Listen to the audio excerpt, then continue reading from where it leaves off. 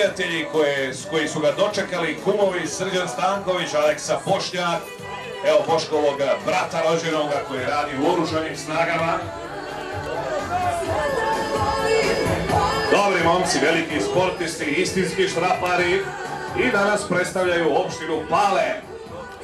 Mjesto mokro. Stišati?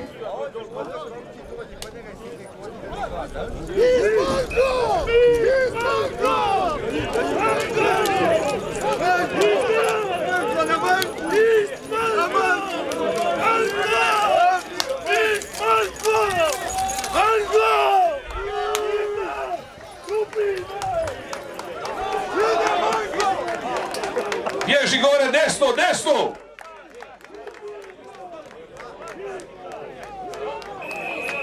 Evo ga, u cugu, u cugu su izišli. Kakva vožnja! Bošnjak Srđan Stanković, naravno i njihov brat Boško Jugović. Ovaj nastup prvi za kumove ovdje službeni na Štraparijadi, čestitamo i njima, oni su naši vjerni prijatelji, poštovalci našeg sporta, kumovi Aleksa Bošnjak i Srđan Stanković.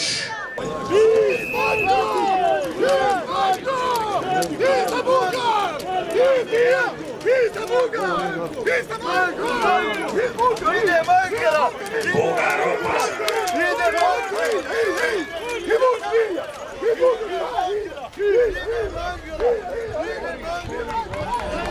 Trajale su pripreme dugo. Evo, bit će četvora. Ide u cugu. Ide u cugu, ali malo sam ovdje 20. On goni, jel? Goni.